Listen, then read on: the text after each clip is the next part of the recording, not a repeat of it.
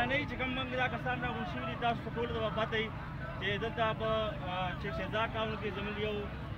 غریب د باجوړ سره دارو لرونکی خاندان پاتې کیږي او د هغې سره چې کومه بدترینه واقعه شوې ده او اعظم سواتی هغه واقع کې د خپل اختیاراتو یو ناجایز استعمال کړی دی او هغه غریب خاندان چې کوم دی سره د زنانه وو سره د زنانه وو په جیل کې چې کوم دی بند کړی دی دوی موږ ټول باجوړ سپکه کړې ده زه اوس حاجي صاحب بدین ته بلنه ورکوم چې دلته کې راشي او په دې باره کې یو څو خبرې وکړي